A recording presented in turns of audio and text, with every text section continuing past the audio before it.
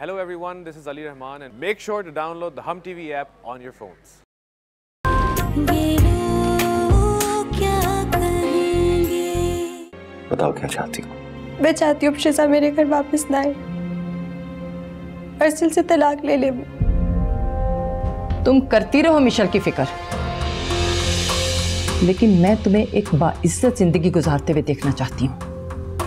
और अगर ऐसा ना हो सका तो फिर मैं तुम्हें खुला दिलवाने का हक भी रखती हूँ।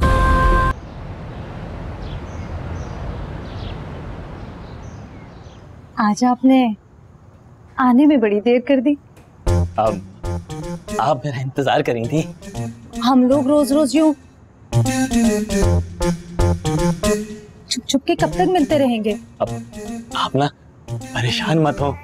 वो ना अम्मा आ रही हैं आपके घर रिश्ता लेने। पापा जल्दी अंदर आ जाए दादी बहुत गुस्से में है। तू क्या पूरी खबर बन करके आ जाता है? जा यहाँ से। दादी ने भेजा था कह रही थी वो छिपकली रोक लेती है तुम्हारे पागल बाप को।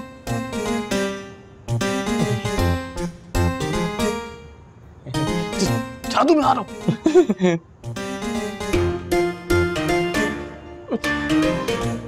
वापिस आने दे तुझे मैं ठीक करता हूँ।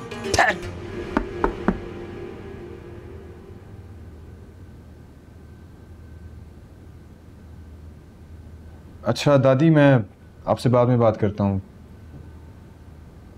ठीक है। अल्लाह हाफिज़ अल्लाह हाफिज़। अच्छा तो दादी से बातें हो रही थी। हाँ भाई खुशकिस्मती जो लेके आई है तुम्हारे घर में वो। हाँ आजकल मैं खुद को दुनिया का सबसे खुशकिस्मत इंसान समझ रहा हूँ। हाँ भाई समझना भी चाहिए। किस्मत ही बदल दी उन्होंने तुम्हारी तो। बाय द वे तुमने उनके घर वालों को अभी तक इन्फॉर्म क्यों नहीं किया? घर वाले मैं ही उनका पोता हूँ। अच्छा? खैर मैं चलता हूँ। नहीं पहले अपनी बात क्लियर कीजिए। कहना क्या चाह रहे हैं आप? मैंने ऐसी कोई बात की ही नहीं जो मुझे क्लियर करनी पड़े।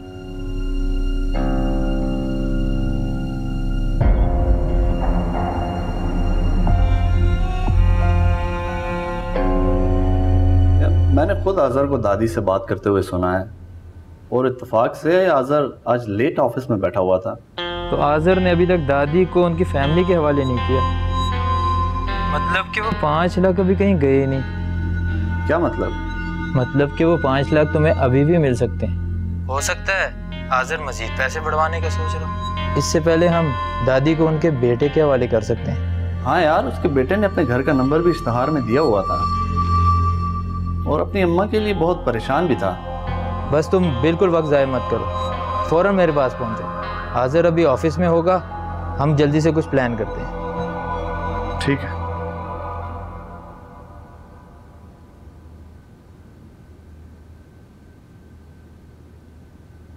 क्या ढूंढ रहे हैं अरसल मैं जो ढूंढ रहा हूँ वो मुझे कभी नहीं मिलेगा।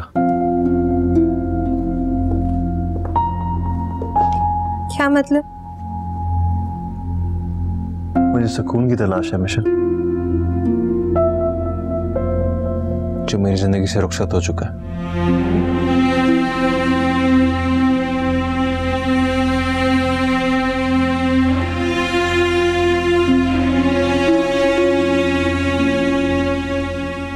सर क्या हो गया आपको? अभी तो हम कितना खूबसूरत टाइम स्पेंड करके आ रहे हैं पूरी फैमिली साथ थी सब खुश थे। और मैंने उस तरह से कोई उदासी भी नहीं देखी आपके चेहरे पे। ज़्यादातर चेहरे अपने दिलों के तर्जुमा नहीं होते। दिल पर आँसू गिर रहे होते। और चेहरे पर मुस्कुराहट होती है। तो मतलब आप खुश नहीं थे हमारे साथ? मैं बस तुम्हें देख कर रह रहा हूँ था मिशन। कैसे तुम इतनी पत्थर दिल हो गई?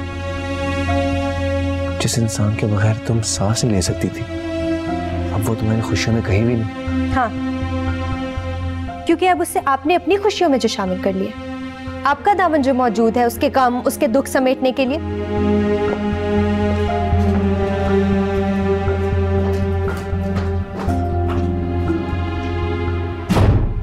अरे तुम कासिम को क्या कह दिया है कि वो बच्चा सहमा जा रहा है?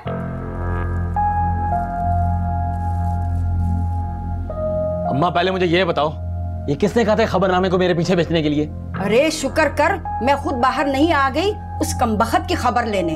उस कमबख्त मारी का हजूर में हाजिरी देने के बाद घर में दाखिल हुआ ना आइंदा तो तेरी खैर नहीं। अम्मा वो बेचारी तो बस मैंने इंतज़ार कर रही थी। तुम्हें क्यों आग लग रही है? अभी से ये हाल है तो शादी के बाद मुझ मजलूम का क्या हाल करेगी? अम्मा अगर तुम मजलूम हो ना तो मैं दस गरीबों को खाना खिलाऊँगा। फ़िलहाल तो तू अपनी फ़िक्र कर आज नहीं मिलने वाला तुझे खाना और ना ही मैं जाने वाली हूँ तुम्हारा रिश्ता लेकर। अम्मा खाना बेशक ना दो लेकिन रिश्ता लेकर ज़रूर चली जाना।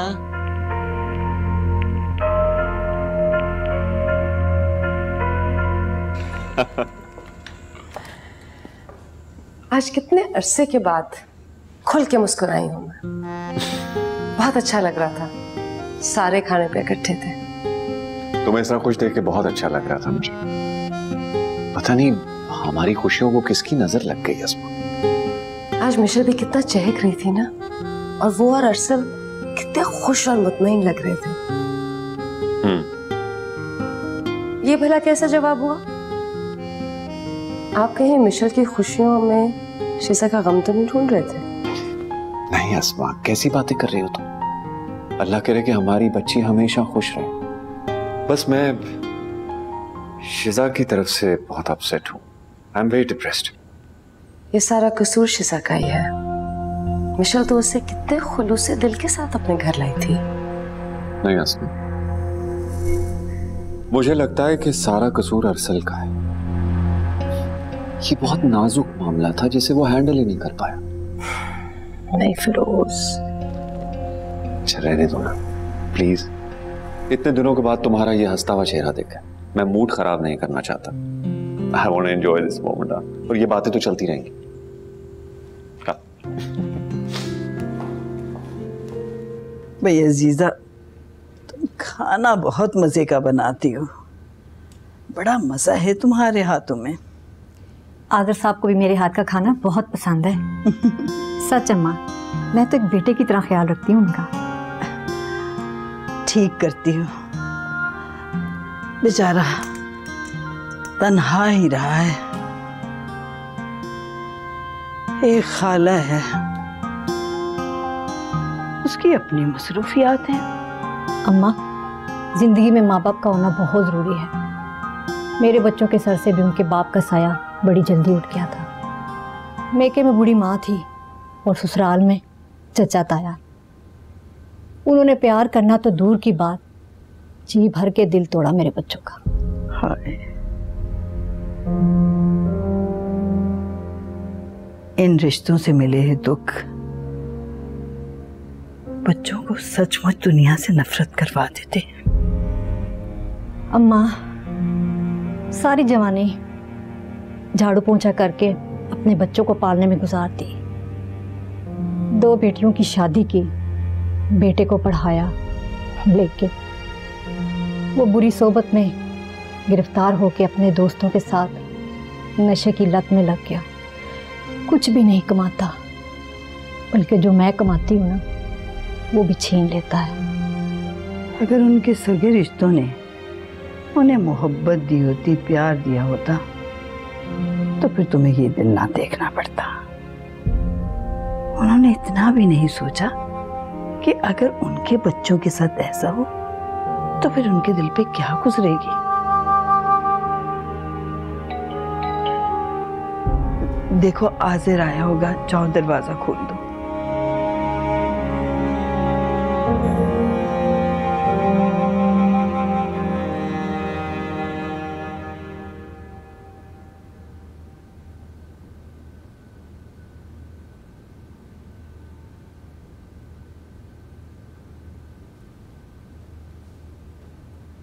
ये किस बात पर मुँह फुलाया हुआ तुमने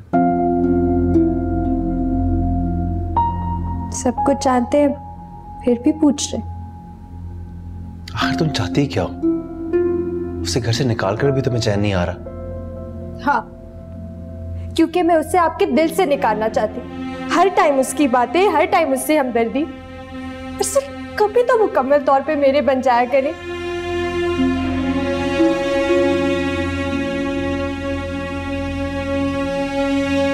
खुद ही अपने बातों से, अपने रवैयों से मुझे खुद से दूर कर रही हो।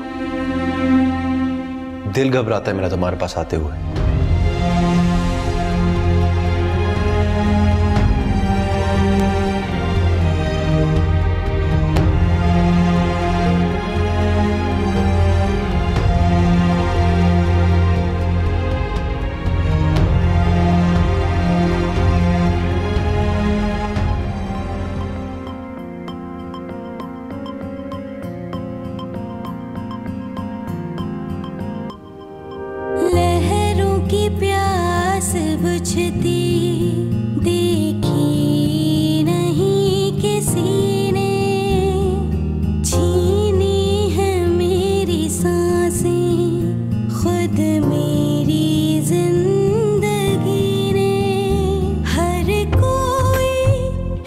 ये आखिर अरसल इतनी रात को मुझे क्यों कॉल कर रहे हैं? मिशल कहाँ है इस वक्त? ज़रूर कोई ना कोई बात हुई है। मैं भी कितनी पागल हूँ। सुन ही लेती है वो क्या कहना चाह रहे थे। अगर इतनी रात को मिशल इन्हें मुझसे बात करते हुए देख लेती तो उसके ताने, उसकी तल्ख बातें मैं बिल्कुल बर्दाश्त नहीं कर सकती थी।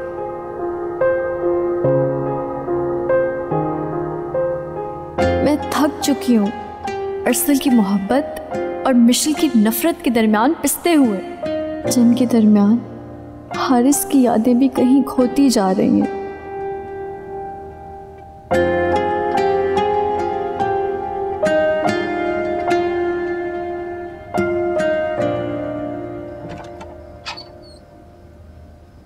जी मैं शहजाद वो आप वही है ना जिन्होंने दादी का पता बताया था?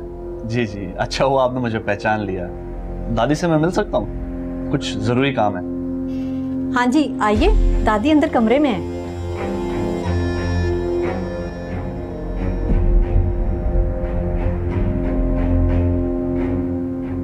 ये क्या बात कर रहे हो तुम? मैं सच कह रहा हूँ दादी आपके बेटे का बहुत बड़ा एक्सीडेंट हुआ है। अरे मेरा बेटा तो कनाडा में रहता है।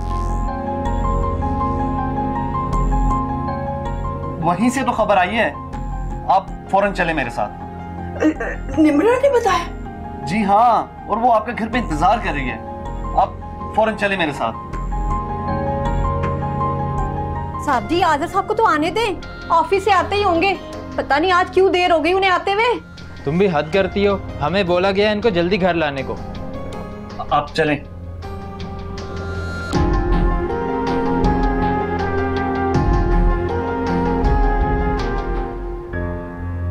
उसे घर से निकाल कर भी तुम्हें चैन नहीं आ रहा। हाँ क्योंकि मैं उसे आपके दिल से निकालना चाहती। हर टाइम उसकी बातें, हर टाइम उससे हमदर्दी। कभी तो मुकम्मल तौर पे मेरे बन जाया करें।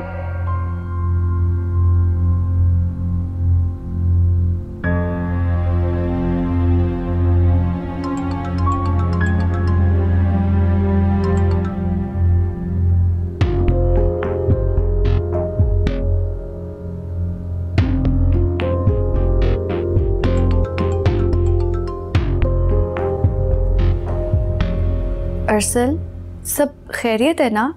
वो मुझसे खफा हो गई है शिजा उसकी नफरत तुमसे बढ़ती जा रही है। काश वो तुम्हें मेरी ज़िंदगी में लाई ना होती। चलिए देर से ही सही लेकिन आपको एहसास तो हुआ कि मेरी वजह से आपकी ज़िंदगी कितनी बेसुकून हो गई है? नहीं शिजा तुम्हारे साथ थोड़े से भी गुजरे हुए वक्त में मैं अपनी पूरी ज़िंदगी जी लेता। लेकिन मिशेल के दिल को कैसे बदलूं? जो हर वक्त तुमसे बदजन रहता है। अरसल आप पहले खुद अपने रवैये पर गौर कीजिए।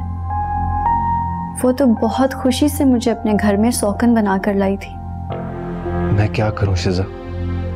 मेरे जहन में एक आइडिया है लेकिन शर्त यह है कि आपको उस पर अमल करना होगा।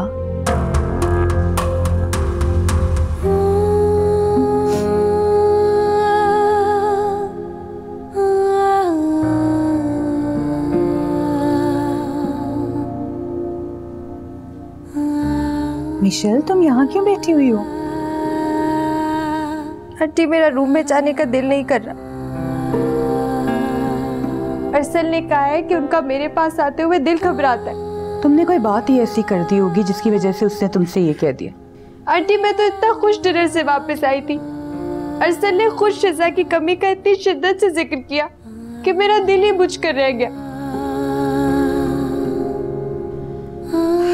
देखो मिशल आखिर शिजा भी उसकी बीवी है। अगर तुम अरसल को खोना नहीं चाहती ना, तुम्हें अपने अंदर हौसला और बर्दाश्त पैदा करना ही होगा। जाओ, शाबाश। अरसल के पास जाओ। हो सकता है तुम्हारे कुछ मोहब्बत भरे जुमले उसे खुद ब खुद तुम्हारी तरफ़ खींच लें बेटा। जाओ, शाबाश। तुम्हारा मतलब है मिशेल पर मैं ज़ाहिर करूँ कि मुझे तुमसे नफरत है? और हमेशा उसके सामने तुमसे बेजारी का इजहार करूँ? आप खास अक्लमंद हैं। मेरा यही मतलब था। मैं ये हरगिज नहीं कर सकता। मेरा चेहरा मेरी ज़ुबान के साथ नहीं देगा।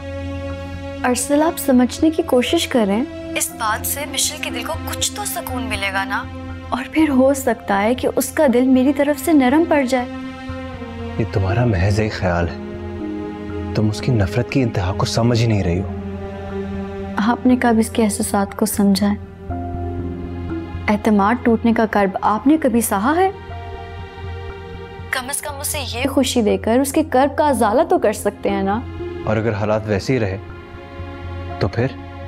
मेरे हालात बदले ना बदले लेकिन आप दोनों की ज़िंदगी बहुत बेहतर हो जाएगी। और मिशेल के चेहरे पर बिखरी मासूम से खुशी मेरा सबसे बड़ा इनाम होगा।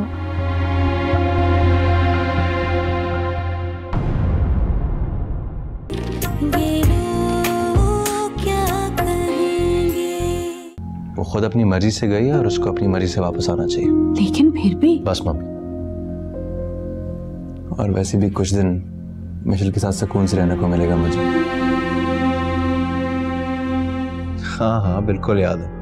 मैं टाइम पर आ जाऊँगा। चलिए ठीक है मैं रेडी रहूँगी फिर।